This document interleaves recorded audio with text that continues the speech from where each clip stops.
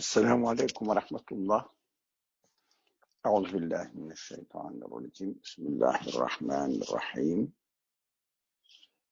اللهم اغفر ذنوبنا اللهم ارحمنا اللهم ارحمنا جميعنا. اللهم ارنا الحق حقا وارزقنا اتباعه وارنا الباطل باطلا وارزقنا اجتنابه. La havle ve la kuvvete illa billahil aliyyil azim. Ve sallillahumme ala Muhammedin ve ala alihi ve ashabihi ve etbaihi ve sellim. Velhamdülillahi Rabbil alemin. Amin. Muhakematın giriş kısmında kaldığımız yer İlla darurati tübihul mahzurat ee, hükmünü tahlil eden ve şimdiye kadarki yapılan e, üzerinde konuşulan mevzuya uygulayan bölüme geldik. Yani bu bu cümleyi hep duyarsınız, herkes bilir ama ben bir defa da e, biz tekrar etmiş olalım. Zaruretler haramları mubah kılar, yani mahsurlu, sakıncalı olan bazı şeyleri e, sakıncasız hale getirir. E, mubah kılar demek, sakıncasız hale getirir demek. Kaide-i şeriyesince bu şeriatın kuralına göre bazen haram bildiğimiz şey ilcaat-ı zaruretle vacip olur. Yani zaruretin ilcası ile, zorlaması ile vacip olur. Yani zaruret varsa haram bildiğimiz bir şey bırakın e, mubah olması yapılması gereken zorunlu bir hal olur. Örneklerini devam ettirecek. E, Taafun etmiş parmak kesilir. Yani kangren olmuş parmak kesilir. Ta el kesilmesin.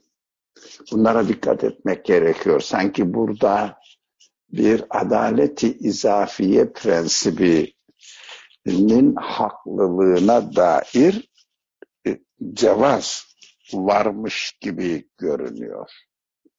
Ne demek adalet izafiye? Yani daha büyük bir fayda için ilk defa dikkatsiz bir şekilde baktığımızda daha büyük bir faydayı elde etmek için küçük bir yanlışa evet demek gibi görünüyor. Halbuki buradaki zarurat e, bir işi bir işin veya bir şeyin yapılmasını zorunlu kılan hal e, demek küçük bir zarar demek değildir. Ona dikkat etmemiz lazım. Yani kangren olmuş parla, parmağı kesmek küçük bir zarar. Ta ki parmağı kesip Allah muhafaza etsin böyle bir şey olsun istemez insan da temsil olarak anlatılıyor. Parmağı kesip eli kurtaralım. Ama parmak sıhhatli değil. Eğer sıhhatli olan bir parmağı kesip de elin e, menfaati düşünülecek olursa bu adaleti izafiyedir. Ama burada bu parmağın kesilmesi zorunludur. Eğer parmağı kangren olmuş parmağı kesmez isek e, o zaman e, yaratıcının koymuş olduğu nizam dairesinde biliyoruz ki kangren devam eder ve bütün eli kesmek zorunda kalırız. Onun için ilk defa okunduğunda sanki e, adaleti izafiyeye cevaz veriyormuş veya adalet izafiyenin haklılığını savunuyormuş gibi bir e, anlam e, görünebiliyor ama değil. Yani ilk bakışta öyle görünür değil. Selameti millet okumaya devam ediyorum. Selameti millet cevheri hayata tevakkuf etse vermekten tavakkuf edilmez. Ee, bazı, nasıl ki edilmedi. Geçmişteki e, örneklerde görüldü ki eğer bir milletin selameti için hayat cevherinden vazgeçmek gerekirse hayatı vermekten çekinilmez. Tavakkuf edilmez, durulmaz. Yani verme, Aa, veremem canım şimdi benim canım e, tatlıdır denilmez. Tarihte de denilmedi. Hakkın gerçekleşmesi için insanlar hayatlarını vermekten, hakkın müdafası için hayatlarını vermekten çekinmediler. Ve biz de çekinmemeliyiz diyor müellif. Yine burada e, eğer dikkat edilmezse çok tehlikeli bir yanlış anlaşılmaya kapı açan e, mesele var. Eğer dikkat edilmese, dikkat edilirse hiç yanlış anlaşılacak bir taraf yok yalnız. Biz genellikle e, kulaktan dolma dolma dini bilgilere sahip olduğumuz için ciddi bir e, eğitimden geçmeden dünyevi işimiz olsa en ciddi eğitimden geçeriz de e, dine gelince kulaktan doyma, dolma şurada burada yazılmış hikaye var kitapları okuyarak elde ettiğimiz için hemen dini meselelerde çabucak bir sonuca ulaşmayı tercih ediveririz. Çünkü detaylı düşünme alışkanlıklarımız gelişmemiş olabilir. Herkes için değil ama çoğunlukta görülen eğilim bu. Şimdi milletin selameti için bir insanın e, hayatını feda edebilir miyim? Bakın ben burada size e, numaralı bir cümle söyledim. Yani içerisinde e, nasıl nedir Türkçesi? içerisinde tuzak olan bir cümle söyledim. Bakın bir milletin faydası için bir masumu öldürebilir miyim?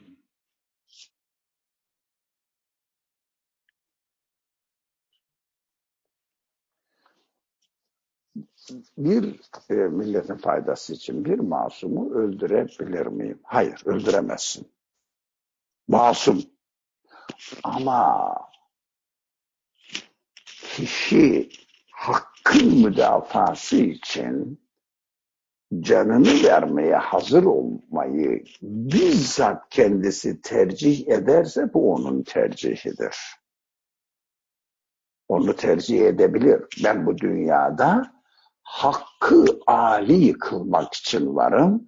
Eğer hak ayaklar altına alındıysa benim varlığımın bir anlamı yok der tercih eder kişinin kendisi fedakarlık yaparsa o kişiye ait bir tercihtir.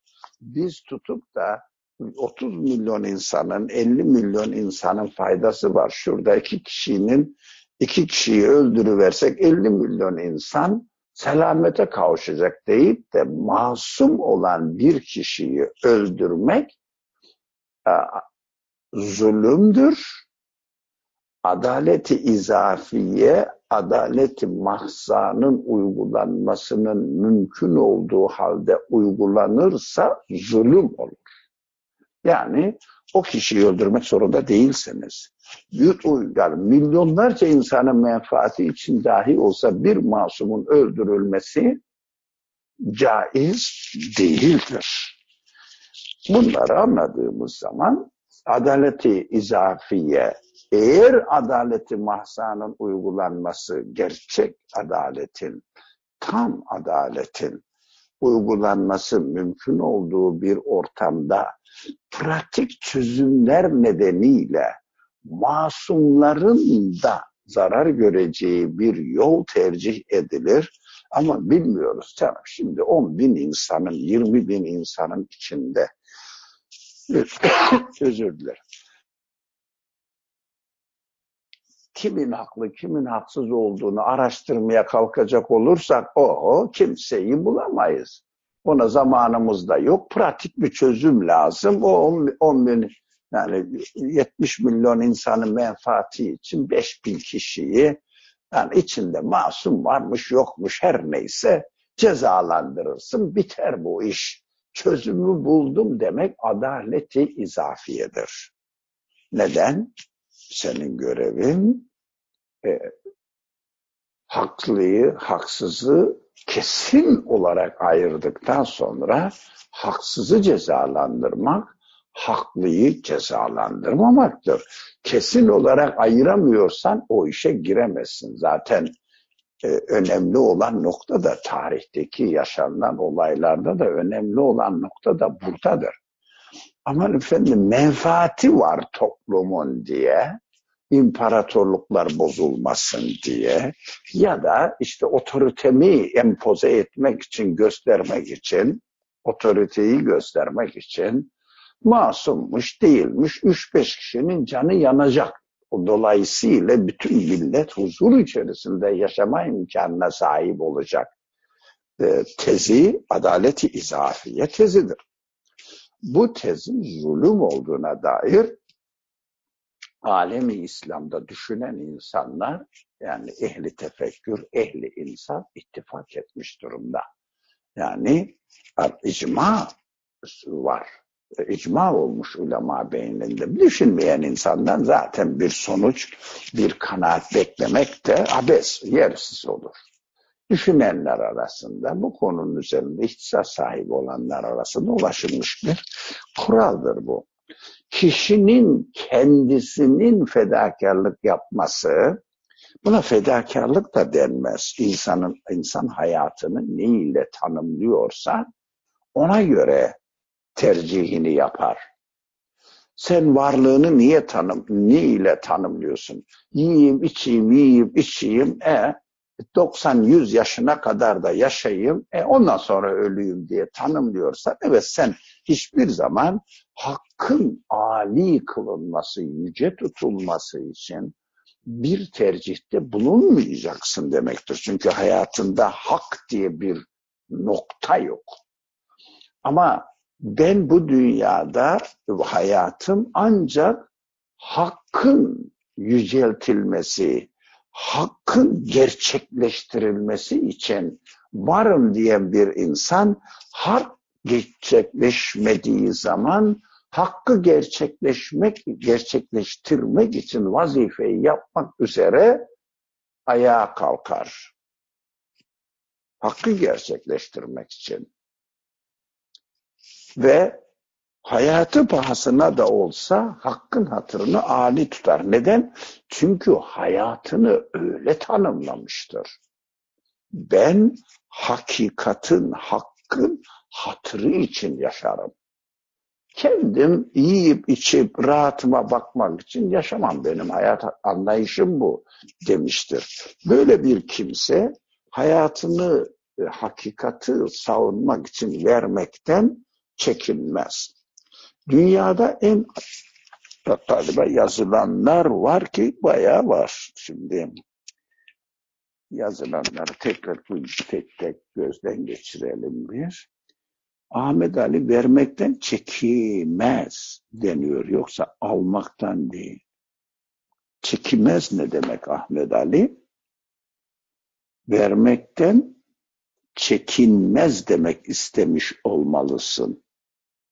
Ahmet Ali hani demiştik ya yazdıklarımızı tekrar gözden geçirmeden yazmıyoruz diye. Alaaddin hayır diyor.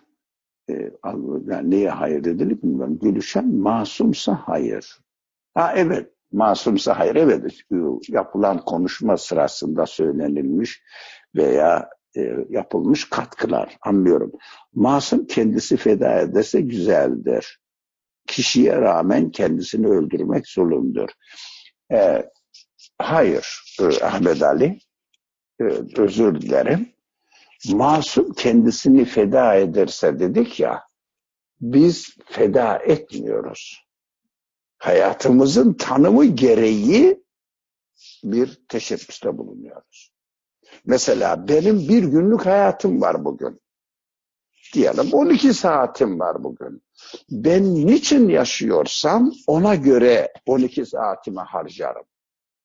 Eğer yemek içmek için yaşıyorsam ne pişireceğim, ne alacağım, ne vereceğim, neye ne kadar katacağım, kimden ne gibi e, ne diyorlar ona e, yemek tarifesi alacağım diye 12 saatimi geçirmem. Neye? E, ben çünkü e, yemek içmek için varım diye kendimi tanımlamıyorum ki. Yemek içmek için varım diye kendimi tanımlamıyorum. Hayatım ben niçin var olduğumu anlamak için yaşarım.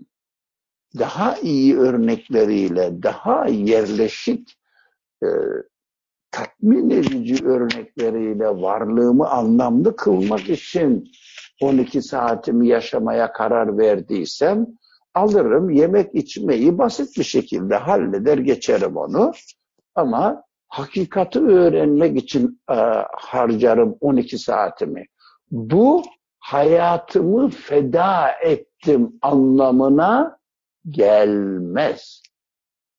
Aman efendim biz e, savaşlarda, e, harp meydanlarında ölüme ölümü göze alarak e, elin, eline işte ne gibi alet varsa savaş aletlerini alıp meydana çıkmak fedakarlık değil midir? Hayır.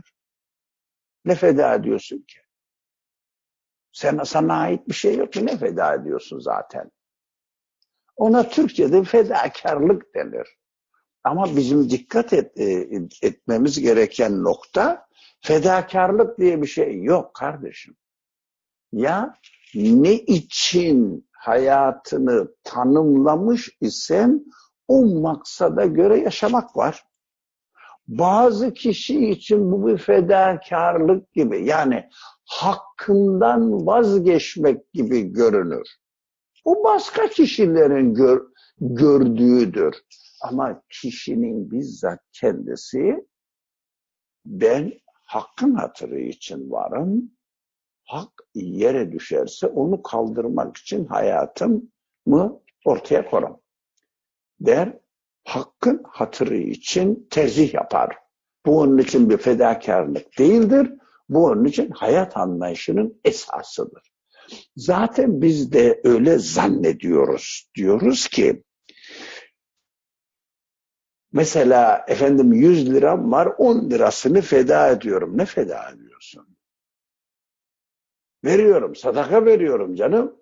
Hayır, sadaka falan verip feda falan etmiyorsun. Öyle insanlara ben 10 liramı feda ettim diye e, kendini empoze etmeye kalkmaz. O zaman sahtekar olursun. Eğer malını sana emanet edilmiş olan malı belli bir maksat için kullanma, belli bir anlayış dahilinde belli maksatlar için kullanma e, kararı almış isen bu mal benim değil, bu bana emanet edilmiştir. Bu malı en güzel şekilde değerlendirme imkanlarını araştırmak benim görevimdir. Şimdilik benim karnım tok, örnek olarak söylüyorum. Şu anda aç olan birisi var. Bu mal o aç olan kişinin ihtiyacı dahilindedir. O zaman ben bu malın varlık nedeni bir ihtiyacı karşılamak olduğundan daha şiddetli bir ihtiyacı olan kişiye bu varlığı, bu malı teslim etmem, vermem benim fedakarlığım falan değil, asli görevimdir. Neden? Mal anlayışım, malı kullanma anlayışım, e, malın hangi maksatta yaratıldığı konusundaki almış olduğum karara göre bir tercih yaptım. Fedakarlık falan değil bu. Aldığınız tercihe göre hareket ediyorsunuz.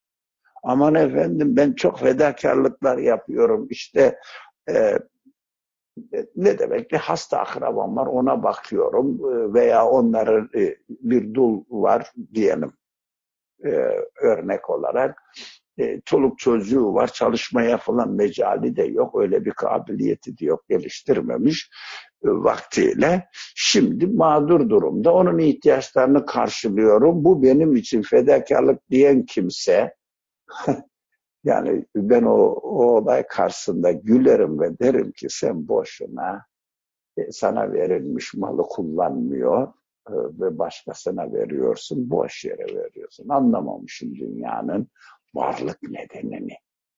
Bizim bu dünyada varlık nedenimiz fedakarlık yapmak değil, hak bildiğimiz üzere tercih yapmaktır. İşte bir insan bir başkası hakkında kardeşim bu hak sen böyle yap ki diyemez.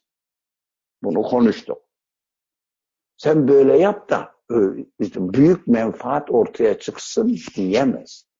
Sadaka ver de sosyal huzur, adalet, eşitlik gerçekleşsin zekat. Bunlar saçma ifadelerdir. Bunlar hakikaten tabansız ifadelerdir. Uyanmamız lazım. Sosyal adaleti gerçekleştirmek için çok zengin olanlar, fakir olanlara bir şeylerin aktarmaları lazım. Ama sosyal adaleti gerçekleştirmek için değil ki, insanın kendi anlayışına göre tercih yapması için. Yani senin elindeki imkanlar senin için ne anlama geliyor? Hangi ortamda onları kullanman lazım? Bu konudaki vermiş olduğum karara göre hareket edersin. Onun için birisi gelip de senden zorla malından, zorla elinden bir kısmını alıp kardeşim çok zenginsin, e şurada fakir birisi var buna bu parayı ver. Adam hayır ben vermek istemiyorumdur. Anlayış öyle değil çünkü kişinin. Hayır hayır vermen lazım. Zorunlu olarak malı elinden alıyorsun, gasp ediyorsun. Hayır. Bunların hepsi böyle çok e, hassas bir konu olan adalet anlayışının temellerini teşkil eder. Bizim kendimizi tekrar gözden geçirmemiz lazım. Kolay mı? Hayır. Kolay da değil. Onu da söylemek gerekiyor. Çünkü çok uzun dönem düşünüp çalışıp üzerinde muhakemeler, müzakereler yapıp kendi kendimi ikna kendi kendimi ikna ettiğim noktaya gelmem gerekiyor. İkna edilmeden kulak dolgunluğu ile yapılan ameller ameli salih değildir. Duymuşum, zekat vermek lazımmış İslam'da diye, namaz kılmak gerekirmiş, oruç tutmak gerekirmiş diye, işte dinimiz böyleymiş diye, eh diyor ama işte e, yap, yapmasan olmaz cezası varmış diye kılınan namazda falan fayda bir fazla, fazla fayda geleceğini zannetmiyorum. Bakayım.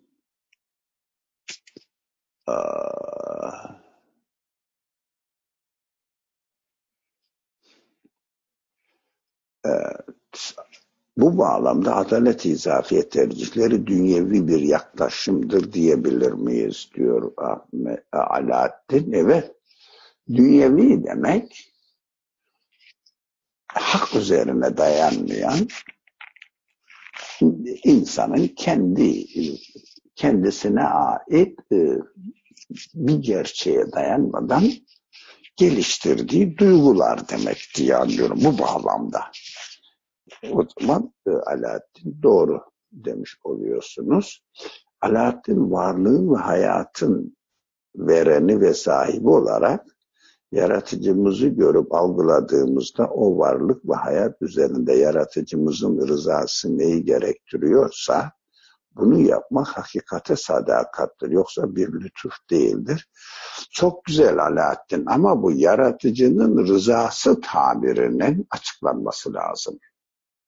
Ne demek yaratıcının, rızası? Şimdi doğru bir ifade olur da ne demek bu? Bu bilinmeyen bir kavram. Yani e, Türkçe'de kullanılırken ne demek istediğimizin farkına olmadan kullandığımız bir ifadedir. Yaratıcımızın rızası açıklanması gereken ve bizim açımızdan da tanımlanması gereken bir ifadedir ben kendime bakarım. Ben yaratıcının rızasını mızasını bilmem. Neden ben yaratıcıyı bildi ve yaratıcıya gidip de sen neden razısın diye soramam ki. Ya O bana rehberlik yapar, ben de rehber konuşmalığı yapar. Ben de bu konuşmanın benim dünyamdaki karşılığını ararım. Dikkat edin. Bu benim kendi kanaatim ve sonucum olmalıdır. Evet, ben yaratılmışım, bunlara dikkat edelim lütfen. Ben yaratılmışım, var edilmişim diye kani oldum yüzde yüz. Benim yaratılış maksadım nedir diye soracağım. Kur'an'mış, hadismiş, başka bir kaynakmış her neyse bir sonuca ulaştım. Benim kendimin sonucu bu. Dikkat edin. E, kopyalamak yok. Kendimin sonucu. Yoksa iyi düşün Alaaddin. Bir hafta boyu düşün bunu. Yalnız Alaaddin değil hepimiz. Yaratıcımızın rızası nedir? Ezberi Kur'an'dan birkaç ayet nakletmek, yaratıcımızın rızasını kendi dünyamızda anladığımızın gerçekliğini ifade etmez. Kur'an rehber kitaptır. Ben o rehberliğe göre kendime dönüp o rehberliğin benim için gerçek olup olmadığı konusunda bir sonuca ulaşacak müzakerede, mütalada, tefekkürde bulunmam ve bir sonuca da ulaşmam lazım. O benim sonucum olduktan sonra tamam benim hayatımın, varlığımın kaynağı budur. Bu kaynak, bu kaynağa göre benim varlığım şu şekilde harcanmalıdır. Benim iradem dahilinde. Bana verilmiş irade dahilinde. Ben şuraya da giderim, buraya da giderim. Otururum da, yürürüm de. İradem var. Yani yaratan değilim de tercihimi yaparım. Ama neye göre tercihimi yaparım? Kendi almış olduğum kararlara göre tercihimi yaparım. Kendi kararım olacak. Ezbere Allah'ın rızasına Allah rızası için ben böyle yaptım dediğimizde yani eh canım işte birisi var tepemizde biraz kaba konuşacağım ama mesele anlaşılması için kaba konuşmak lazım. Tepemizde birisi var onu o işte kafası falan atar da başıma bir iş gelir. Onu susturmak için razı etmek için böyle de yapıvereyim. Niye? Yapmazsam başıma iş gelecek. Cehenneme atar beni diye iş yapmak yaratıcının rızasıyla falan alakası olmayan bir boş iştir. Ya kendime bakacağım ben. Benim varlığım şu anlamdadır. Şu maksatladır diye aldığım bir kararım olacak. Ezbere yok. Ben Allah'a ibadet etmek için varım diye ezbere konuşmanın bir faydası yok. Çünkü duymuşum böyle bir ayet var diye. Ne demek ibadet dediğinde evet cevabı yok. Böyle olmaz. Dini meseleler bizim dünyamızın yani inançla ilgili meseleler bizim dünyamızın en ciddi meseleleri olmak zorundadır. En ciddi meseleler olmak zorunda. Diğerlerinin hiçbirisi önemli değil. İtikatla ilgili. Neden? varlığımı tanımlıyorum. Kendime ait kararlarımı alıyorum. Bu kararları alırken Kur'an'ı da dinlersin, ezber, ezbere taklit etmezsin. Peygamberden nakiller yapılıyorsa ne de ikna ediyorsa dinlersin, ezberi, efendim peygamber böyle dediyse öyledir denmez. Kendi dünyanda onun karşılığını görüp mutlaka ikna olmak, yakine ulaşmak gerçekten öyledir. Sonucuna ulaşmak zorundayız. Peki ya dini meseleler bu kadar zor mu? Hayır, hakikatta zor değil de bizim böyle bir çabamız yok. Hiç çaba et, göstermiyoruz. Dine gelince ezberciyiz. Genel olarak konuşuyorum. Duyduklarımıza öyleymiş diye e, duyduklarımızla geçiniriz. Kendi hayatımızda karşılığını bulup kendimizin ulaştığı sonuçları kendimize tatbik etme tercihinde bulunmaktır iman ile yaşamak. Kendi sonucum olacak. Duyduğum değil. Böyle bir hadis varmış. Demek ki öyle yapmak lazımmış. demek sahtekarlıktır. Neye? Mesela sabah kalktınız, çevrenizdeki insanlara hep selam vereceksiniz diye hadis okumuşsunuz. Çevrendeki insana Esselamu Aleyküm diyorsun. İçinden geldiği yok. Gerçekten Esselamu Aleyküm demekle nasıl bir hayat yaşadığını farkında bile değilsin. Ya sünnettir diye duydun akşam camide hocanın yaptığı konuşmadan. Böyle ne din olur ne iman olur. Bu bir kültürdür. Yani işte nezaket gereği e, tanıdıklarına selam verecekmişim veya işte hatırlarını soracakmışım dedil, denildi diye kültürde öyle ya. Evine gelen misafire yemek vermek kültürü var. Türk, e, Müslüman diye bilinen toplumlarda. Yani bu kültürün hakikati var mı? Var ama ben bunun farkında mıyım? E işte biz de eve gelen kişiye bir şey ikram etmeden onu evden çıkartmayız diye ona bir şey vermek e, imanla, dinle hiçbir şeyle alakası yok. Bir kültür uygulamasıdır. Ben ona tipik bir örnek veririm. Bizde pilavı böyle pişirirler diye pilav pişirmek gibi bir şey. Kültür. Kültürün imana, imana dönüşmesi için çabalıyoruz. Kullandığımız kelimelerin ne anlama geldiği üzerinde düşünülmedi demiyorum. Düşünülmesi zorunludur. Birisi düşünmedi diye itham etmiyorum. Ve kullandığım kelimeyi o düşünceye ulaştıran gerekçesiyle birlikte kullanmalıyım. Ezbere değil. Ezbere değil. Yani Müslüman olmak için la ilahe illallah Muhammedur Resulullah demek, şehadet getirmek gerekirmiş. O zaman hadi ben de Müslüman olayım, bunlar iyi insanlar dedim. La ilahe illallah Muhammedur Resulullah dedim. Bu şimdi ben e, İslam'ın getirdiği dünya görüşünü hayatıma uygulayıp karar verip evet böyle olması şarttır anlamına mı gelir? Yoksa yani bu insanlar iyi insanlarmış, bunlarla beraber olayım işte ihtiyaçlarımı da gözetirler falan veya neyse sosyalleşme ihtiyacıma cevap verirler.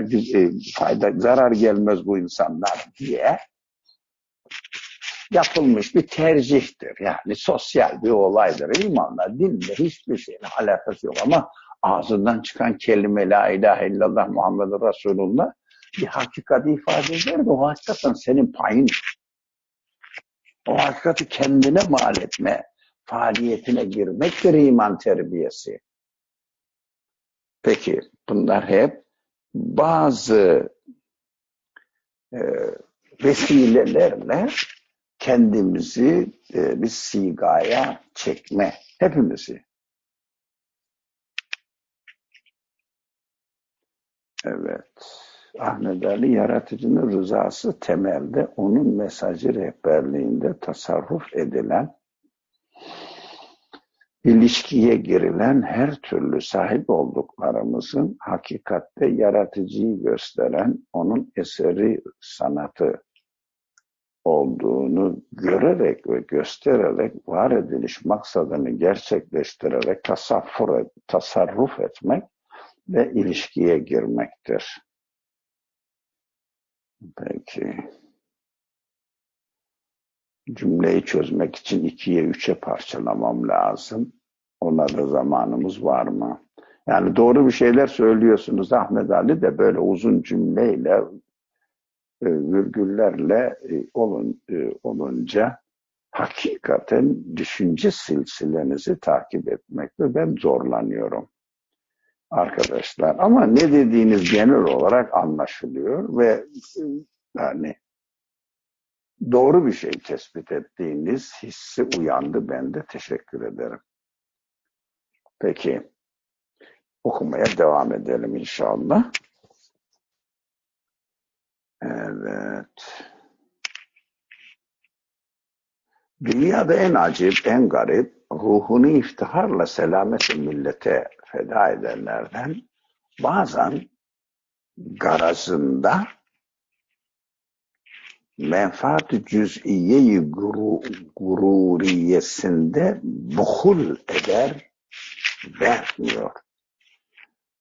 Yani cüz'i gururundan dayanan, e, kaynaklanan bir menfaat yüzünden o menfaatin e, gerektirdiği kötü niyet, garaz artık kin neyse o, maksadından, menfaatin getirdiği maksattan dolayı cimrilik eder yapmaz. Mesela e, anlar ki e, selameti millete feda edenlerden. Bu selameti milleti bu, bu gibi ifadeleri Nursi o zamanın şartında, Kürdi o zamanın şartlarında çok konuşulan e, milletin menfaati, vatan, millet gibi ifadelerin canlı bir şekilde kullanıldığı bir kültür ortamı vardı. Ve bu kültür ortamında milletten maksat din birliğini ne dayanan, din birliğine, inanç birliğine dayanan bir toplum demekti.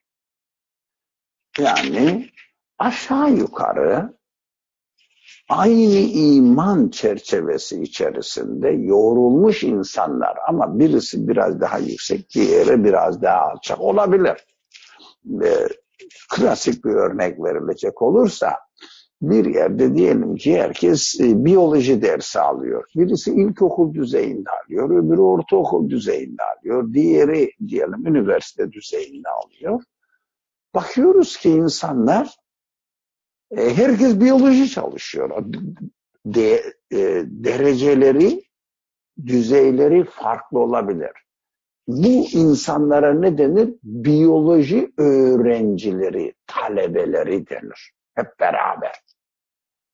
O zamanın şartlarında 1900 yıllarının, yıllarının 1900'ün baştaki yıllarında toplumda böyle bir tanım vardı. Biz hepimiz Müslümanız diye. Ve Müslümanız dedikleri zaman da tanım gereği İslami bir toplum olma özelliklerinde insanların çoğunluğu ittifak ediyorlardı. Böyle bir e, toplumda e, millet denildiği zaman inanç birliği kastediliyordu. Irkla falan hiç alakası yok. Böyle ulus devlet falan çok yeni kavramlardır bunlar. Şimdi insanlar zannederler ki bir yerde Suriye denildiği zaman sınırları belli bir yer var. Yok kardeşim bu saçma birilerinin uydurduğu sınırdır o. Türkiye denildiğinde birilerinin sana empoze ettiği bir sınırdır oranın içerisindeki yaşayan insanlara Türkiye Cumhuriyeti vatandaşı derler. Bu bir siyasi bir oluşumdur. Hiçbir zaman inanç birliğini temsil etmez. Bunlar yeni kavramlar. Tamamen seküler, dini içeriklerden soyutlanmış olan kavramlardır. Tamamen. Onun için kafanızda efendim bizim Türkiye diye bahsediyorsanız e, zaten e, kaybettiniz demektir. ne demek senin Türkiye? Türkiye bölünmez falan. Bunu söylese söylese Türkiye Cumhuriyeti'nin kurucuları söyler. Palavra bir kelimedir. Ne demek Türkiye Cumhuriyeti bölünmez falan.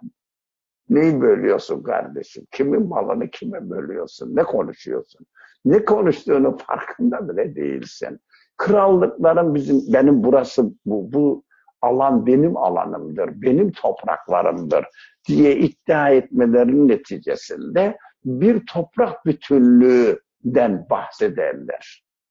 Halbuki hakikatle hiçbir alakası bir kişinin, bir ailenin, zengin bir ailenin iddiasından ibarettir. İnsanlar zamanında bu konularda çok çabaladılar. Vatan ne demek, millet ne demek diye.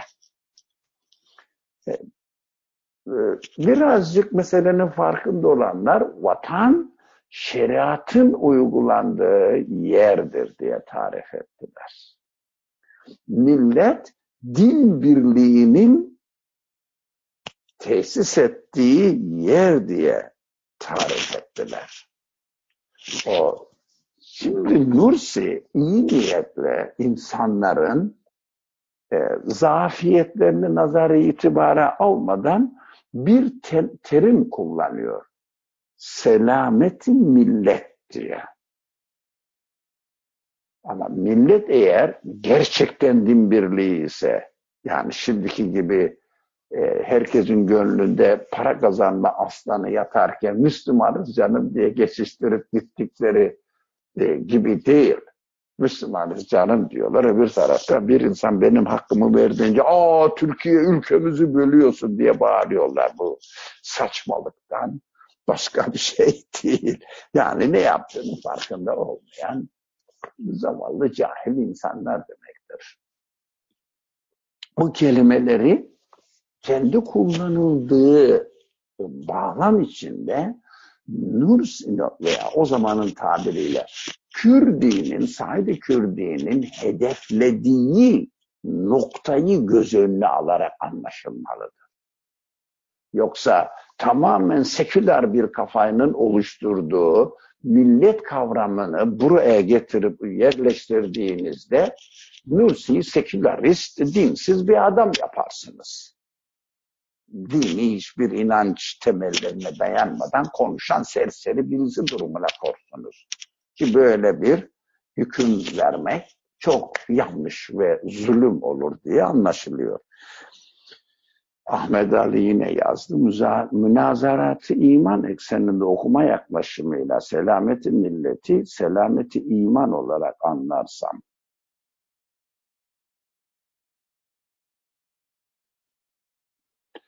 ruhumu yaratıcısıyla tanıştırma ve yaratıcısında fena kılma halini yaşarken, cihet ederken bazen gafletten, menfaat cüz'iyeden yani fani ve geçici olarak mevcudata yaratıcısından bağımsız olarak cüz'i irademe güvenerek muhatap olursam cüz'i irade diyorsun ama e, Ahmet Ali buradaki tabire dikkat ettiğimizde e, cüz'i gururuyla Gurur bir insanın kendisini kandırması demek. Cüzi irade zaten kardeşim. Cüzi iradeyle yapılacak tercihten başka elimizde ne var ki? Neyse. Ama dediğiniz anlaşılıyor. Cüzi irademe güvenerek muhatap olursam mahlukatı kendimi ve kendime ait özellikleri yaratıcıya vermede cimrilik gösterebiliyorum. Yani gururuma tabi olursam. Gurur demek bir insanın kendisini kandırması demek. Yani şimdi Türkçe'de gurur bir insanın büyüklenmesi falan anlamına kullanılır. Pratik olarak kullanılışı doğrudur.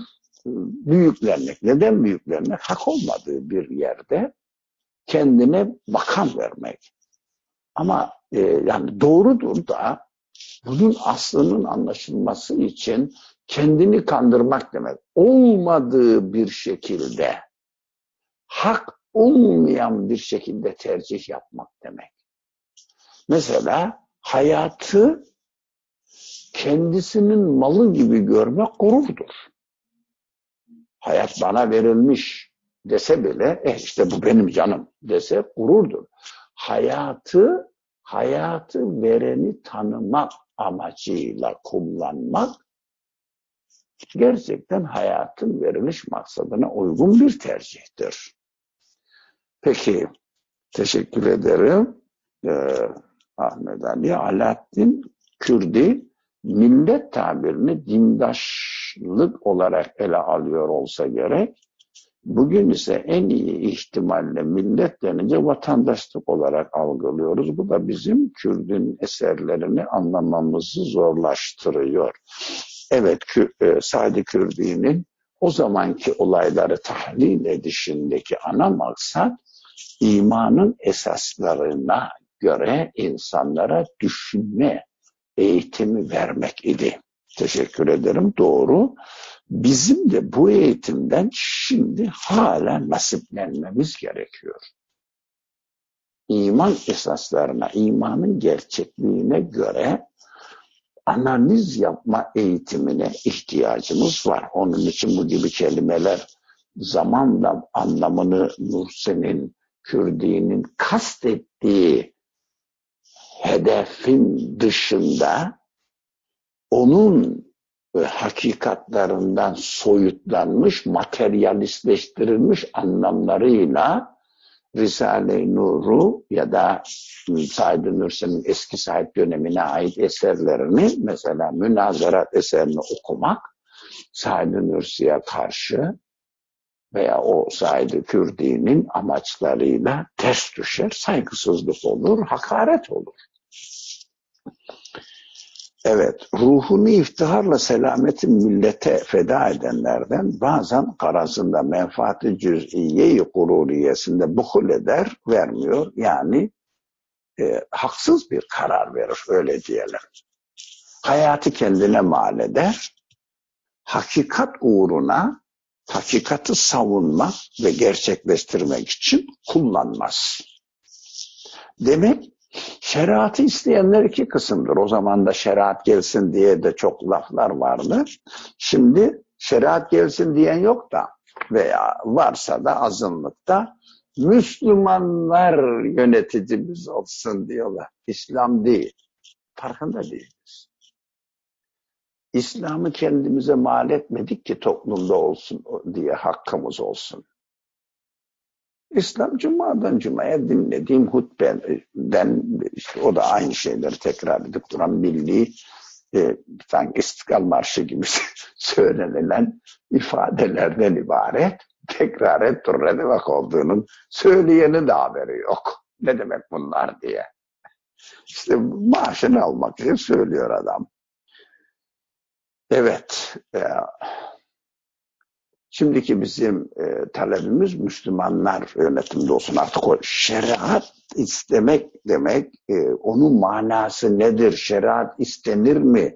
Şeriat getirilir mi? Bunlar düşünmeden o kelimeyi bile ağzımıza alamaz olduk. Çünkü yakıştıramıyoruz. Kendimizin tutarsızlığı, sahtekarlık diyecektim vazgeçtim. Tutarsızlığı ortaya çıkıyor. Ama şimdi ne diyoruz? Müslümanlar yönetime gelse kötü mü olur canım diyoruz. Bana da kardeşim bir insan kendine Müslümanmış demiş dememiş beni neden ilgilendirsin ki? Ben yapılan işin hak olup olmadığına bakarım. Ama bu hakkı anlamam için de yapılan işin hak olup olmadığını anlamam için de benim kendime hak nedir diye bir tanım e, getirmem lazım kendim için. Hak nedir? Kendim hakkın ne olduğunu tanımadan hak uğruna deyip konuşmanın da faydası yok. O zamanın şartlarında bu çok geçerli bir kelimeydi. Hatta meşhurdur işte Yeniçeriler şeriat ister hukuk diye bağırdılar da isyan ettiler 1908 meselesini için konuşuyoruz. Ee, isyan e, askeri isyan için e, e, toplumda hakim olan bir söylem idi. Bu da iki kısımdır diyor e, Said Kürdi. Biri muvazene ile zarureti nazara alarak dengeyi tutturmak suretiyle o şartlarda yapılması gereken zaruret nedir? Zaruri olan şeyler nedir?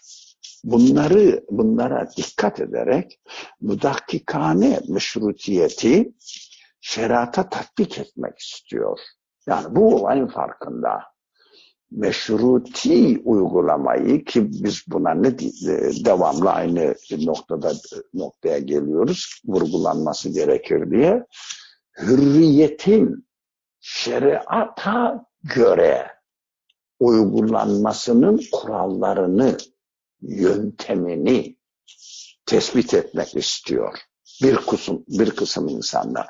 Onlar da şeriat isteriz diyorlar ama dışarıdan bir şeriat kurallarını empoze etmek anlamında değil.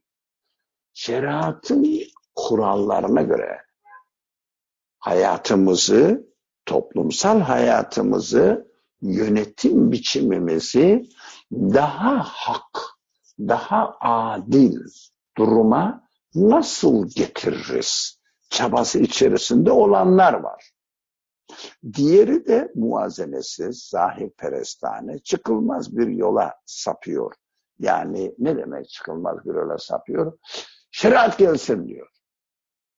Ne, nereden gelecek? E, bir tane kural, e, bir tane sultan olacak, eli sopalı. Elinde sopa var. O kişi susun lan diyecek herkese.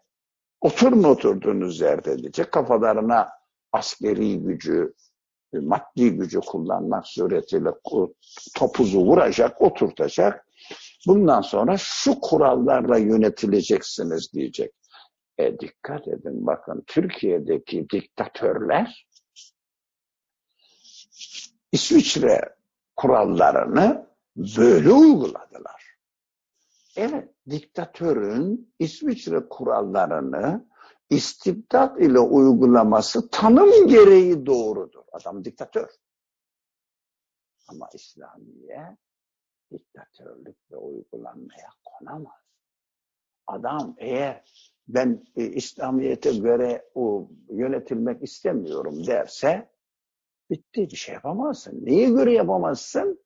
Efendim kanunlar var falan değil. Şeriatın bizzat kendi kurallarına göre bu adamı İslam kurallarına göre yönetemezsin.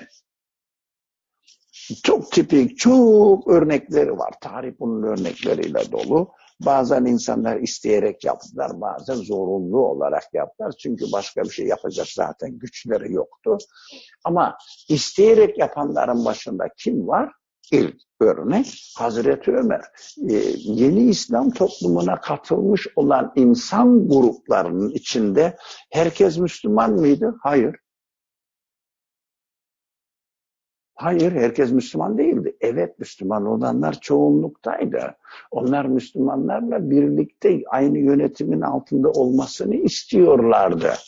Bu fetihten önce de öyleydi zaten. Fetih denilen olaydan önce de öyleydi. Bunu iyi anlayalım. Adam Müslümanlarla birlikte yaşamayı tercih ediyor. Ne kadar biliyorsa İslam hakkında genellikle dünyevi işlerdi. Yani bunlar adaletli insanlar.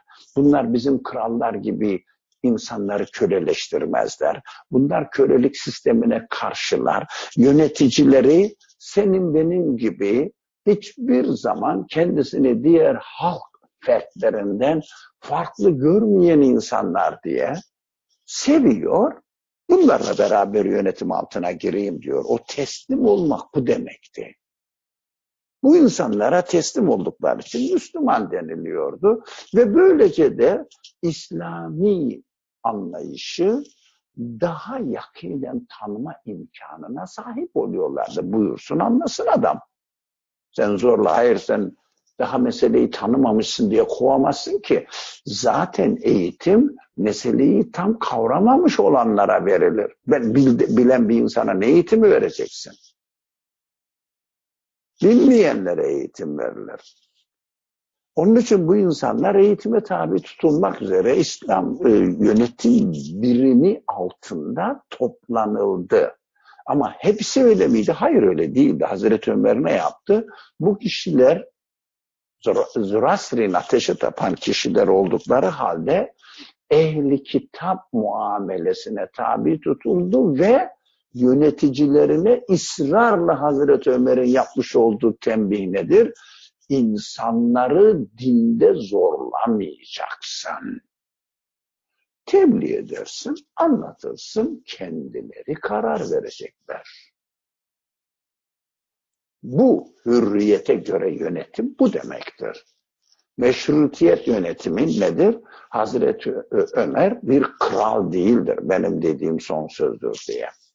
Ya eğer yanılıyorsam kılıcınızla beni düzeltirsiniz diyen yöneticiye halife denir. Yanılmanın ölçüsü nedir? Ee, onların hak bildikleri orta noktada birleşmek. O da Kur'an'ın prensiplerinde, o zamanın şartlarında yakinen tanıdıkları Resulullah'ın uygulama tarzındadır. Ama yeni yaşadıkları şartlarda Resulullah'ın uygulamasında bulunmayan birçok unsurlarla karşılaştılar. O zaman ne yapıyorlar? Kur'an'ın genel kurallarından faydalanarak özel uygulamalara için iştihatlar etmek zorundalar. Zaten şimdi biz de aynı şeyleri yapmak zorundayız eğer olayın farkındaysak. Hiç kimse Kur'an böyle söylüyor demesin. Ben böyle iştihad ettim der. Eğer iştihad etme yetkisine kendisini sahip biliyor ise. Evet, o muvazenesi zahir perestane çıkılmaz bir yola sapıyor demek. Şeriat gelsin, e sultan zorla İslami yönetim biçimini bizim başımıza diktatörce uygulamaya uygulasın. İsteyene istemeyene her şeye. Toplumda hakim kılsın. Bu diktatörlüktür. Diktatörlerin böyle davranması doğrudur. Onun için e, burada çıkılmaz bir yol diyor. Bu çö çözüm değildir. Eninde sonunda bu insanlar isyan ederler. Niye? Benim istemediğim bir şekilde yaşama tarzı bana empoze ediliyor ben bunun doğru olduğuna inanmıyorum diyor. Bu adama zorla bu hayatı yaşatamazsınız. Onun için çıkılmaz bir yoldur. Sual. Uzattık galiba bu kadar e, zaman baya geçti bir saat olmuş. De, e, sual. Meclis-i Mebusan'da Hristiyanlar, Yahudiler vardır. Onların reylerinin şeriatta ne kıymeti var? Çok çok hassas bir konu. Aman efendim içimizde gayrimüslimler var. Cahil cühela var. E o cahillerin reyine mi müracaat edeceğiz şimdi toplumun yönetiminin nasıl olması lazım geldiğine karar vermek için? Bu soru sanki çok haklıymış gibi görünen bir sorudur. Ee, Yok. Bilenlerin reyi geçerlidir diyorlar.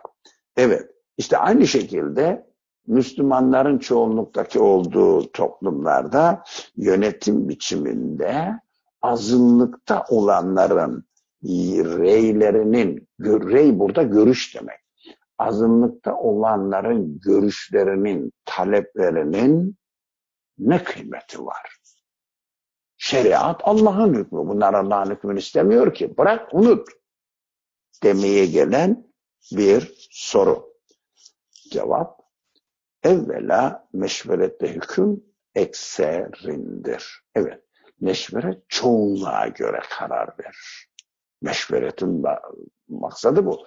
Meşverette yüzde yüz ittifak meşveret değildir eğer yüzde yüz ittifak kendi kendine tesis edilirse tamam ama yüzde yüz ittifaktan sonra meşveret oldu denmez. Çoğunluğa göredir. Ekser ise Müslümandır. 60'tan fazla ulemadır. Herhalde meclisteki insan sayısı için e, konuşuyor zamanın şartlarında. Meşrutiyetin e, meclisindeki sayıya göre konuşuyor olması lazım. Mebusuldür. hür olmalıdır. Yani tanım gereği hür olmalıdır. Hür olmayan mebus olamaz. Şimdi insanlar arasından seçilmiş, mebus o demek. Birilerinin arasından seçilmiş, temsilci olarak gönderilmiş kişi orada ne yapacak? Beni gönderenlerin bendeki şu fikirlerden dolayı şu düşünceden, anlayıştan dolayı beni gönderenleri temsil ediyorum. Çünkü benim fikirlerimi onlara açtım, onlar da benimsediler, beni buraya gönderdiler. O zaman benim kanaatim de şudur diye açıkça söylemeyecekse buna ne meşveret denir ne bebus denir. Şimdiki gibi partinin genel kurallarına uymak zorundasınız diyor. Adamın ağzından çıkacak lafı hemen tekrar e, ağzına gömüyorlar. Bu mebus mudur? Partinin genel kuralları. Bu parti diktatörlüğüdür. Yani dikkat etmek gerekiyor.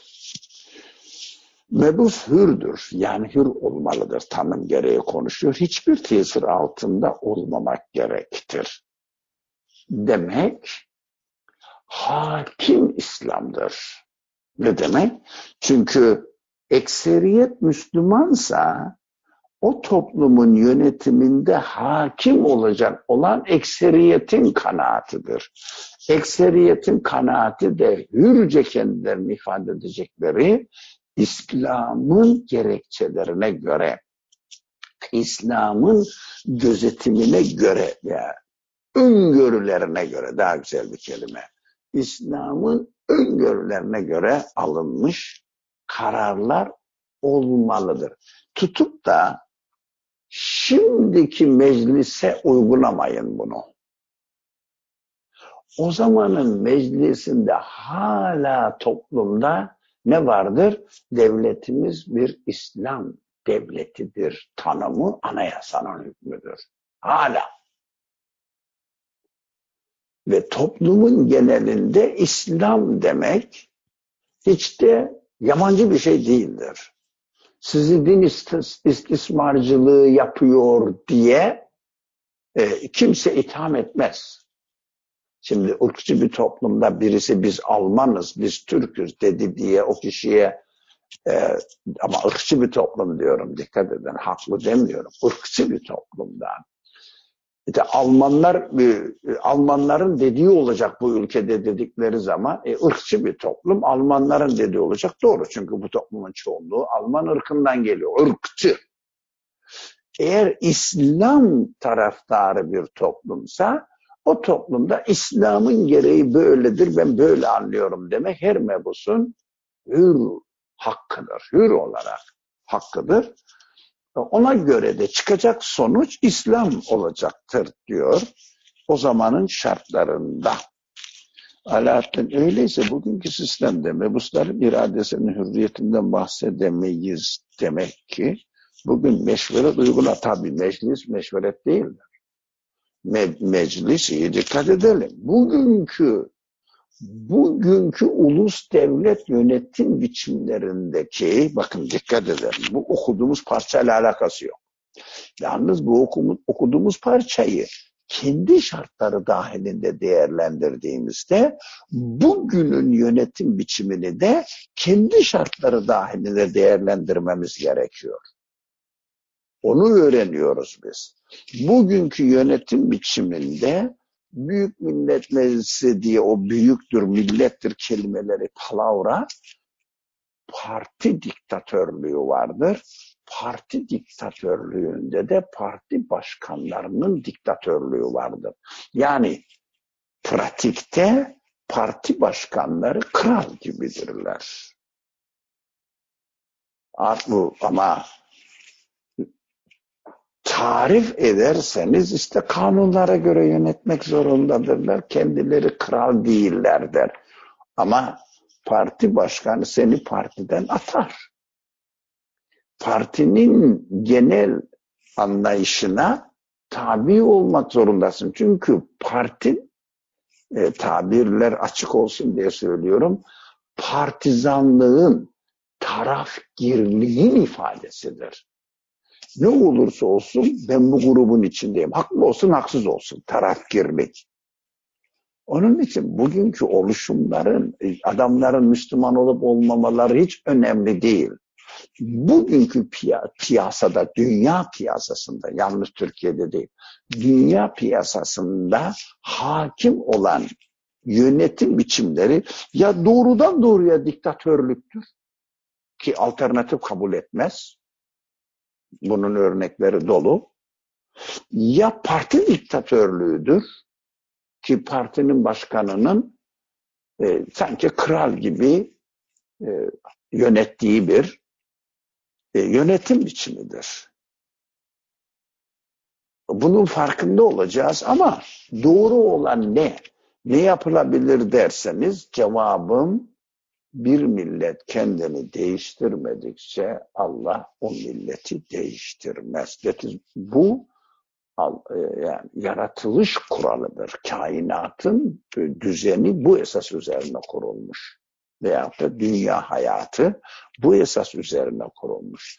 İnsanlar kendilerini değiştirmezlerse o insanların toplum yönetimi ni Allah hiç değiştirmez, karışmaz. Yani haşa yaratmaz anlamında değil.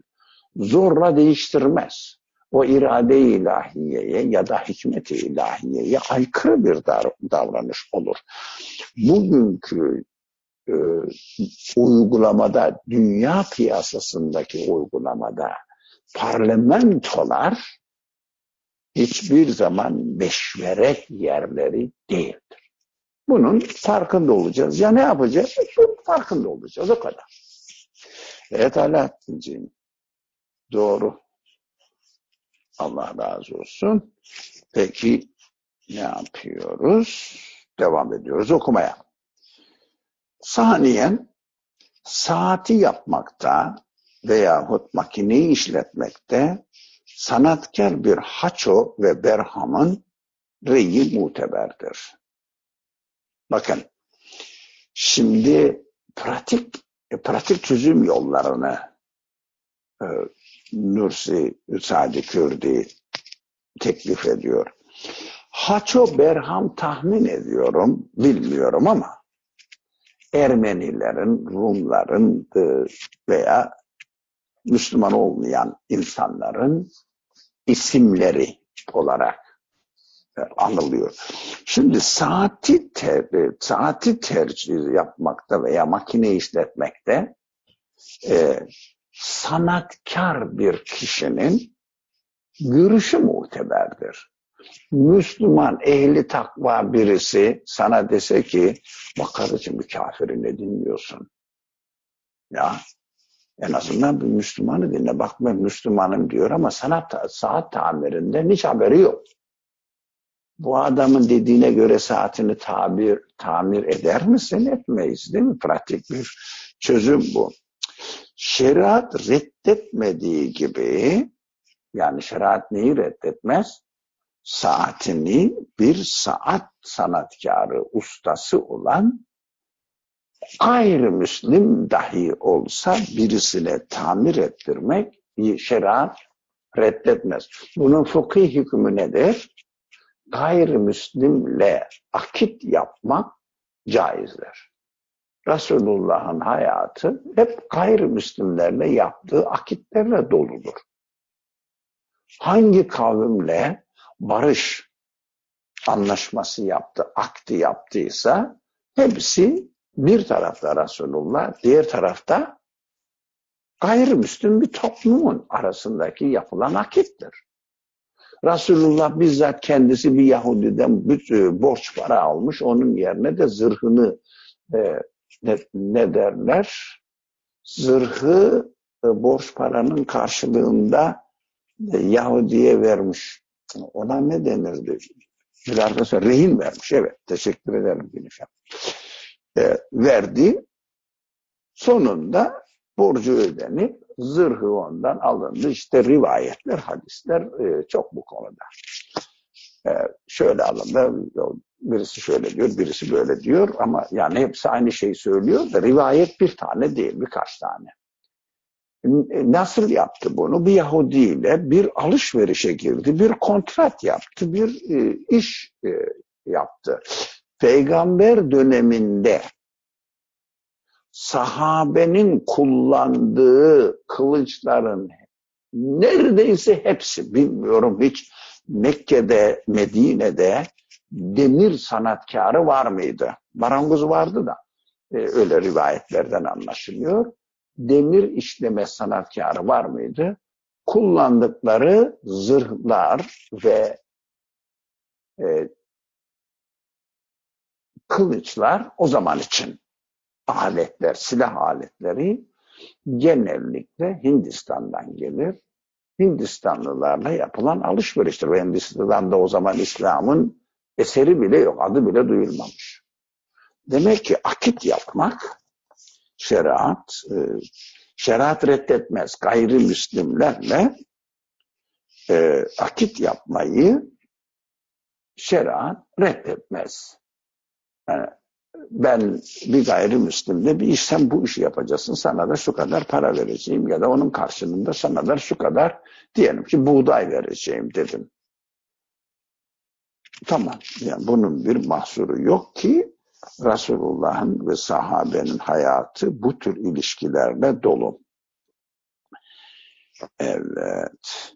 Bu bu davranışı yani e, saatimiz saatini saatçi ustası olan gayrimüslim de olsa birisine e, tamir ettirmek gibi yapmış olduğun, girişmiş olduğun işi Meclis-i Mebusan'daki mesalih siyasiye ve menafi iktisadiye de dahi ekseri bir kabilden olduğundan reddetmemek lazım gelir. Meclis-i Mebusan'da iman eğitimi yapılmaz. Bunu da bilmek gerekiyor. Ama Alaaddin'in yazdığını okuyuvereyim geride kalmasın. İslam'da kavli şeriat, kevni şeriata tabidir. Onun üzerine bina edilir. Tabidir demeyelim Alaaddin de paraleldirler. Paraleldirler demek isterim ben. Ama e, üzerinde düşünmem lazım. Tabidir denilir mi diye. Yoksa kevni şeriattan bir haber kavli şeriat uygulamaya kalkmak buradaki tabirle çıkılmaz yol olsa gerek kevni şeriatı e, acaba o kişilerin maksadı kevni şeriatla kavli şeriatın mukayesesi veya karıştırılması mıydı bilmiyorum. Peki teşekkür ederim. Fatma hatırlattığınız için. Olabilir. Yazılanları okurken e, mikrofonu sürtüyorum.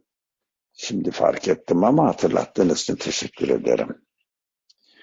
Şimdi yine olursa haber ver inşallah. Özelde haber verdi kardeşimiz de teşekkür ediyorum. Evet. Dönüyorum. Şimdi meclisi mebusandaki mesaleyi siyasiye, siyasi maslahatlar, yani teknik işler öyle diyelim, yönetim tekniğiyle ilgili konular, yönetim tekniğiyle ilgili konular, menafi iktisadiye, iktisat ve ekonomik menfaatler dahi ekseri bu kabilden olduğundan, yani hangi kabilden? Sanatkarlık kabilinden.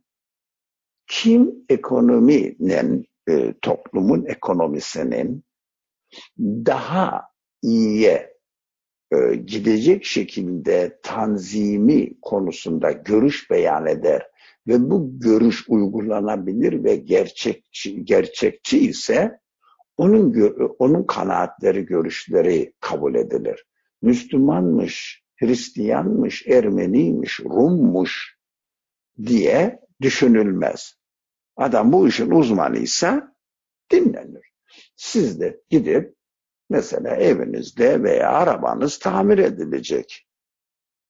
E, biliyorsunuz ki bir Müslüman kişi olsa bile yani Müslüman olabilir olmayabilir de bir kişi Müslüman namaz, namazını kılıyor olabilir ama tamircilikten de pek anlamıyor. Öbür taraftan bir kişi var çok güzel diyelim varsa bunlar örnek. Ee, çok güzel araba tamirini yapıyor, e, güzel teslim ediyor ama adam Müslüman değiller namazında kılmıyor diyelim. Arabanızı kime tamir ettirmeniz şeriatın gereğidir.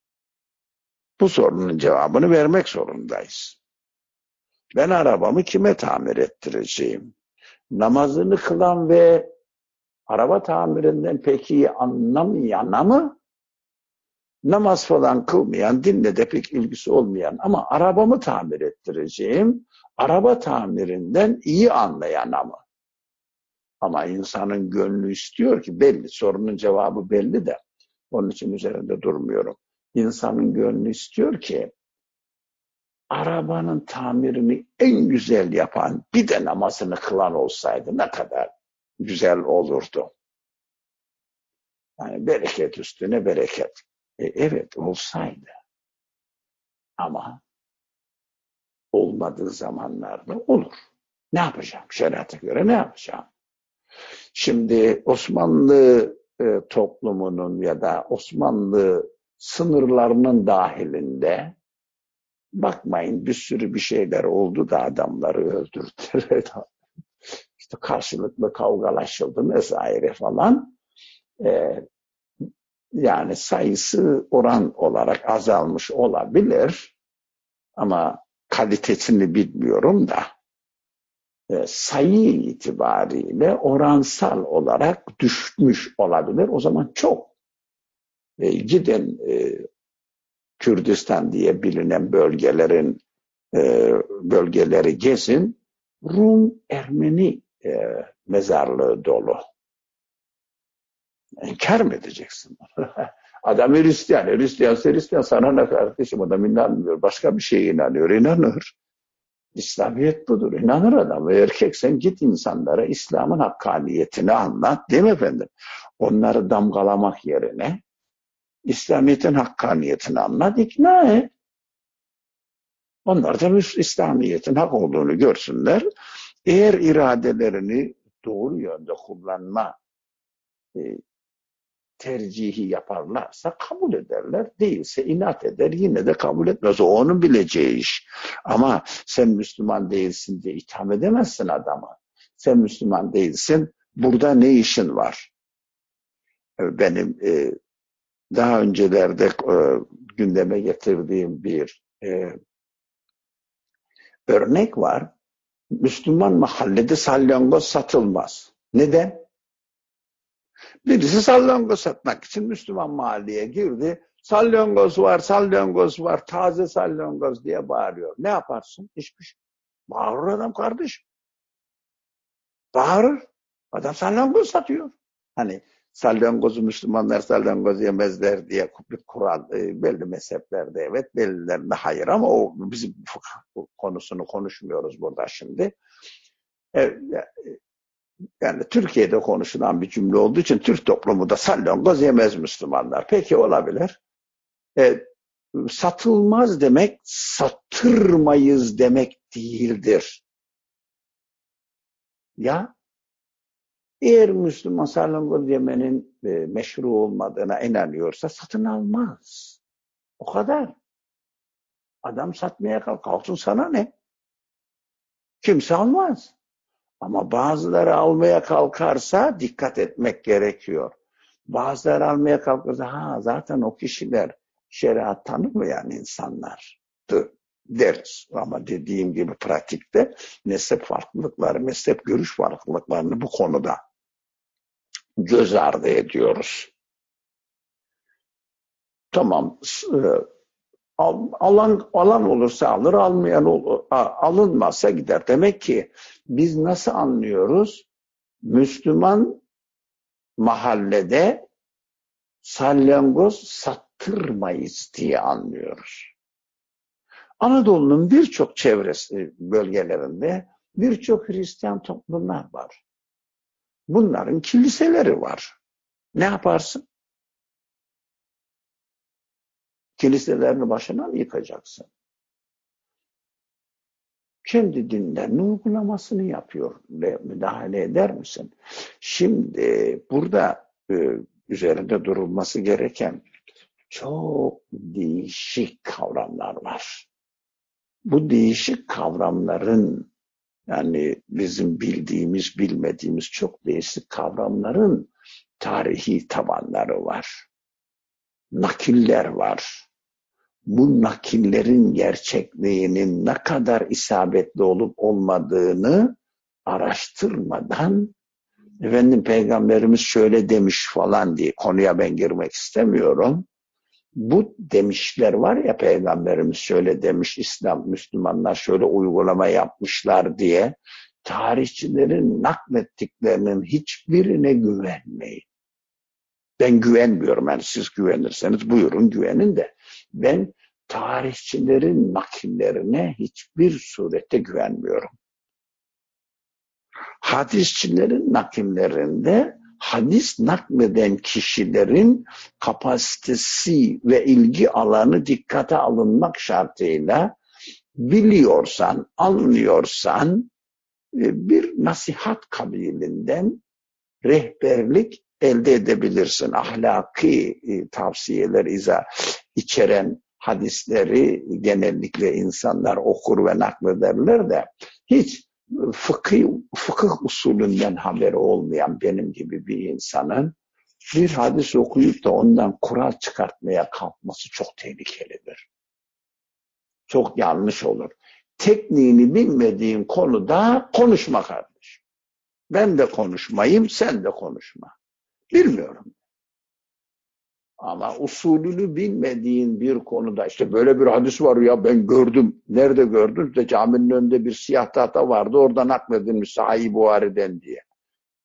Böyle dinde olmaz. Hele bir de hüküm vermeye kalkmak cehaletin daniskasıdır. Böyle basit dini meselelerde e, Kur'an'ın, hadisin, Resulullah'ın anlaşılması meselelerinde çok basit, çok yavan kalıyoruz da böyle bir hatırlatma yapma ihtiyacı hissettim. Evet. Eğer mecliste bir toplumun içerisinde her türlü insan olan bir toplumun Yahudi var, Hristiyan var, Müslüman var, uygulayan Müslüman var, uygulamayan Müslüman var, kendilerine bizim aşağı gördüğümüz için Bektaşidir, Alevidir dediğimiz ve hiçbir zaman da kendileriyle ilişkiye girmekte bir e, e, ihtiyaç hissetmediğimiz, e, ittiğimiz, kalktığımız, aşağıladığımız e, insan grupları var. Yani bir yerde bir köyde e, Alevi köyüyse eğer öyle biliniyorsa Aa, burası Alevi köyüdür kimse gitmez oraya. Yok kardeşim sen gitmeyeceksin o gitmeyecekse bu adamı da yanlış yapıyorlar diye biliyorsan kim düzeltecek? Neye? E, çünkü söyleyecek bir lafımız yok. Kendimiz de bilmiyoruz ne yaptığımızı. Onun için itham edip atıyoruz bir kenara. Kendimiz de ne yaptığımızı bilmiyoruz ya. Böyle bir toplum var. Bu toplum belli bir yönetim biçimi altında birleşmiş vaziyette. Neyse yani meşrudur değildir ayrı konu ama belli bir yönetim içinde. Şimdi bu yönetim biçimine göre bu toplumda bir meclis oluş, oluşacak. Bu meclisteki mebuslar insanların kendilerinin tercihleri sonunda yapmış oldukları seçimlere göre tercihlere göre bir kişiyi meclise temsilci olarak gönderecek. Bu mecliste Yahudi var, bu meclisten çıkan kurallar, Hristiyan var. Ee, o yani Türk, Türkçe'de Hristiyan dediğin zaman çok fazla bir şey yapmaz. Rum var dediğin zaman herkesin tüyleri diken diken olur. Tamamen kültür. Her neyse Rum var denildiğinde dikkat etmek lazım. E, varsa var, tabii var. Olacak, varsa var. Var olacak. Onlar da kendi toplumlarının temsili, toplumlarını hürce temsil edecekler. Hep beraber bu ülkeyi, bu memleketi, gerek yönetim biçimi, gerek ekonomik şartlar, gerek sosyal politik şartlar, her, her, her ne şartlara göre nasıl yöneteceğiz derlerse herkes kendi kanaatini söyleyecek. Sen sen Müslüman değilsin, sen konuşma diyemezsin. Çoğunluk neye karar verirse ha. Çoğunluğun kararına göre de yönetilir. Azınlığın kararı dikkate alınmaz. Meşveretin esası budur. Azınlık çoğunluğa olmak zorundadır. Yani size detaylı e, bilgi verecek kapasitem de yok da bildiğim kadarıyla mesela bir halifenin seçiminde altı kişi görevlendirilmişti. Altı kişiyi görevlendiren e, kişi ne dedi biliyor musunuz? Bu bir halifeydi. Dört halifeden biri. Ne dedi biliyor musunuz? Çok ilginç. çoğunluğa göre karar vereceksiniz. Azınlıkta kalıp da bakın itaat etmeyeni öldüreceksiniz dedi. Bakın bakın bakın. Bunlar çok ciddi meselelerdir. Dikkat etmek, bunların altındaki yatan hakikatleri araştırıp bulmak lazım. Bu adaleti mahsa değildir. İç isyanı bastırmak halifenin görevidir. Onun için Hazreti Ali Muaviye'ye savaş açmıştır.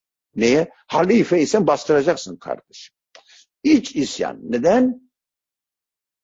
Anarşi İslam toplumunda kabul edilmez. Adam e, Hristiyansa görüşünü beyan eder ama anarşi İslam toplumunda yani şeriat kabul etmez anarşiyi.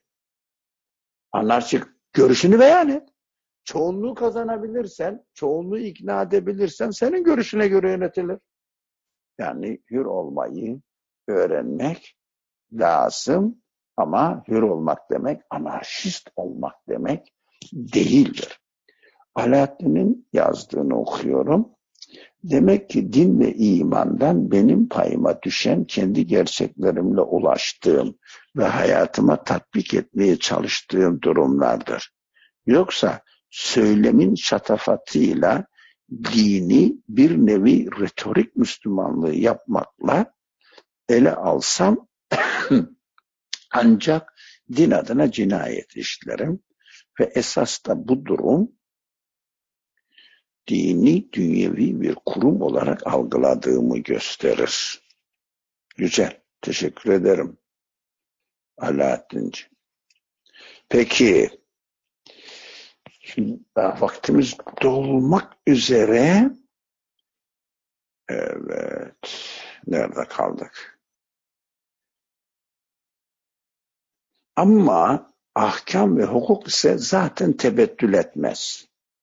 Şimdi o zamanın şartlarında ahkam ve hukuk tebettül etmez. Temel prensiplerde ittifak edilir de uygulamada uygulamada insanlar değişik yöntemler önerebilirler. Ahkam ve hukuk tebettül etmez, etmemesi lazım diye okuyalım bunu tatbikat ve tercihattır ki meşverete ihtiyaç gösterir. Meşveret, şimdi iştihat ayrıdır. Şeriatın temel kurallarının değişmez temel esaslar olarak kabul edilmesi, anayasa gibi. Meclis anayasayı değiştirmesi için şimdiki uygulamada üçte iki çoğunluk derler. Dünyanın çoğunda da böyle hemen yarıdan fazlayla yetişme yet, yet, e, e, anayasa değişmez. Ya üçteki çoğunluğun elde edilmesi lazım denilir. Genelde uygulama bu yönde. Fakat eğer şeriattan bahsediyorsak şeriatın ahkamı bizzat anayasa gibidir değişip değişmemesi söz konusu olması açısından değil. Üçte iki çoğunluğu temin edince şeriatı değiştirebilir miyiz derseniz hayır. Cevap hayır. İşte ama bu neden öyle? İşte Kur'an'ın ezeli kelam oluşu, Rabbul Alemin'den gelişi gibi birçok peşin hükümleri içerir bu. Bunların hepsinin ayrı ayrı çalışılması lazım. Konumuz o değil. Biz tanım yapıyoruz burada. Şeriat anayasa gibidir. Değişmez üzerinde de tasarruf edilmez. Ya ne yapılır? Te tatbikatı, tercihleri yani iştihat. İştihatlar yapılır uygulamasında ki İslam toplumunda başından beri Kur'an üzerinde hiç kimse bir değişiklik tasarrufunda bulunmaya yeltenmemiştir. Böyle de bir insan Müslüman toplumu içinde çıkmamıştır. Ulema ama yani serserinin birisi Kur'an'ı değiştirelim diyebilir o her yerde olan bir iş. Ee, ulema beyninde Kur'an üzerinde Kur'an'ı değiştirmek gibi bir teklife hiçbir zaman şahit olmadı İslam toplumu. Peki iştihat nedir ya? E, bütün İslam tarihi iştihat silsilesiyle doludur. Ne demek bu iştihat silsilesiyle dolu olmak? Şeriatın değişmeyen kurallarının tatbikatta ve yani uygulamada alacağı yeni şekiller konusunda insanların tercihleridir. Çünkü şeriat evrensel kurallar kor. Belli şartlar dahilinde o evrensel kural o şartın kalıbına girer. O kalıba göre insanlar şimdi der bu genel geçer evrensel kuralı bu şartlarda şöyle uygulamak gerekir derler. Aa, meşverete ihtiyaç gösterir şimdi iştihad etmek için insanlar ne yapacaklar? Ya bu kuralı şöyle mi uygulayalım, böyle mi uygulayalım diye istişare edecekler. Meşverete ihtiyaç var. Mebusların vazifesi o ahkam ve hukuku suistimal etmemek yani ana prensipleri kötüye kullanmaya kalkmamak ve bazı kadı ve müftülerin hilelerine meydan vermemek için bazı kanunları yapmak yani iştihat kararları almak tatbikatla ilgili.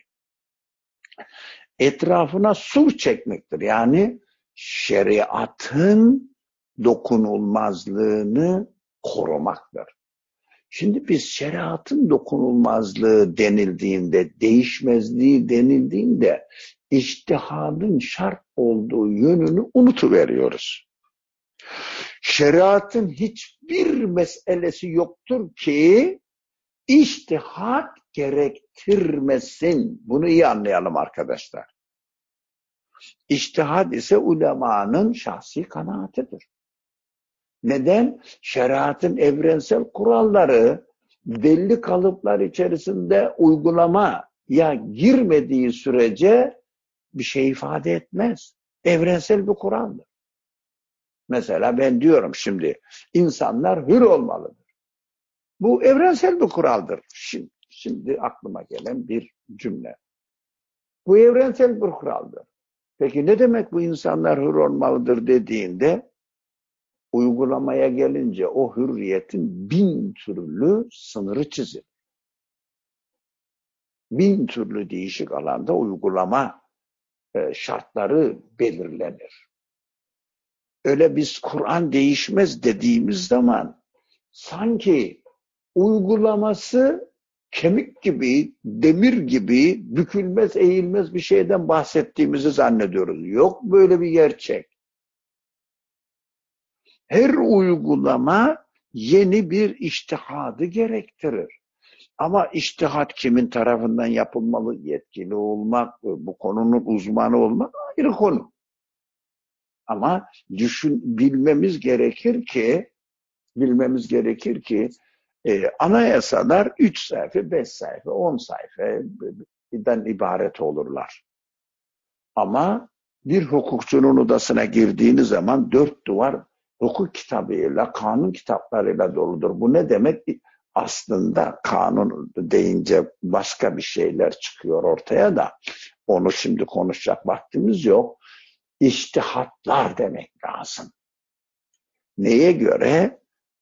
Şeriatın değişmez kurallarının belli şartlarda uygulanması için o bu konunun uzmanlarının almış oldukları kararlardır. Tatbikat kararlarıdır. En güzel tabiriyle bu konunun uzmanlarının yapmış olduğu tercihlerdir. Bunların bilincinde olacağız. Bir ayet okuyup bir hadis okuyup konunun uzmanı olmadan işte bir konuda karar verdiğinizde yaptığınız iş cehaletten yap, e, hepimizin hepimiz böyle yapabiliriz cehaletten ve ükelalıktan başka bir şey değildir, yanlıştır. İştihad etmek için hazırlıklarımızın olması gerekir. Çünkü bir tercih yapacağım, tercihi neye göre yapacağım? Neden? Uygulama alanı tercih gerektiriyor. Evrensel bir kuralı belli bir kalıbın içine koyacaksınız. Bunu nasıl yerleştireceksiniz? Evrenselse e, sınırsızdır. Bunu nasıl yerleştireceksiniz? O zaman uygulama alanına koyacağınız, e, uygulamaya koyacağınız alanın şartlarına göre bir şekil verip başını sonunu belirleyip oraya yerleştirmeniz gerekir. İştihar çok basit bir şekilde budur. Bunu yapabilmek için bu konunun uzmanı olmak gerekir. Uzmanı olmayanların ben böyle bir ayet okudum bunu yapmak lazımmış diye konuşmaları cehaletten başka bir şeyi göstermez. Evet, müftülerin hilelerine meydan vermemek, müftü demek yapılmış iştihatları insanlara fetva vermek için aracılık yapan insanlar demek ve müftü demek yetkisiz demektir aslında. Yani şahsi biri, gelmiş biri sonra bir şey söylemek lazım diye söyleyip geçen insandır. Yetkili olduğu anlamına gelmez. Çünkü iştihat etmek ayrıdır, fetva vermek ayrıdır. İştihat etmek bir konunun tatbikat alanına konulması için prensipleri belirlemek demektir. Müftü ise daha önce prensipleri belirlenmiş olan bir meseleyi bir insana insana senin şartların buna uyuyor diyen kişidir. İçtihat etme kabiliyeti olmadığı için bu kimse müştehit olamaz, müftü olur. Müftü olunca tamamen şahsi tasarruflar da karışır. Yani çünkü adam uzmanı değil bu işin. Türkiye yani Türkiye kültüründe genellikle işte müştehit ile müftü arasındaki fark yani tabir olarak duyulmuştur da uygulamada bilinmez. Yani müftüler çok şahsi, yani yetkisiz, çok şahsi kanaatlerini öngörerek insanlara iyi niyetle ya da kötü niyetle bilemezsin. Ve makamını kaybetmemek için şimdiki memur müftülere müftü denir mi? O da ayrı bir konu. Ha, memur dediğim devletten para alan seküler yönetim biçiminin elemanı, memuru. Buna müftü denir mi ayrı bir konu. İnsanların bilinç düzeyine göre değişi, şekillenecek bir kavram bu.